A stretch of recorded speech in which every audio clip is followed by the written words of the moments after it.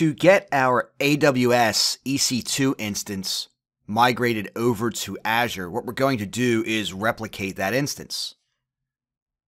So that being said, the any images of replicated VMs from the AWS side need to be held somewhere in Azure. So what we need to do is create a storage account to hold those images of those replicated VMs. Because the Azure VMs that get spun up are actually going to be created from the storage when we fail over from the AWS side. So what we're going to do here in this lesson is create a storage account that's going to hold the images of any replicated AWS EC2 instances.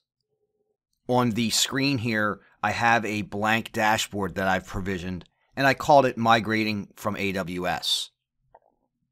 As we provision resources, we'll pin them to this dashboard for easy access. So to create our storage account, what I'm going to do here is create a resource, and I'm going to search for storage account. We'll select storage account from the resulting list, and we'll create it. Now, of course, I have to deploy my resources into a subscription, so everything we deploy is going to go in the lab subscription.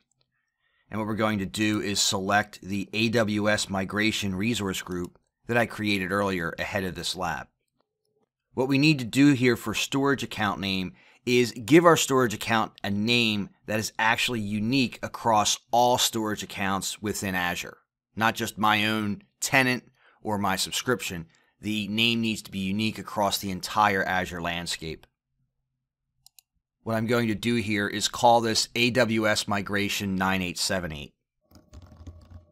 And we can see here we get the green check mark, which tells us that we're good.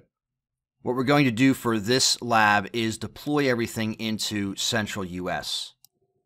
Now, as far as the performance, account kind, and replication go, we can leave these all at their default settings.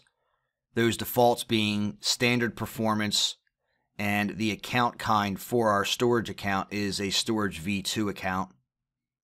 And we're going to leave our replication at RAGRS. We'll leave our access tier set to hot here. And then we'll go ahead and create the storage account.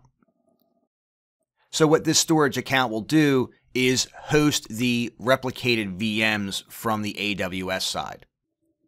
So we'll let this finish and then I'll see you over in the next lesson where we'll create a vault.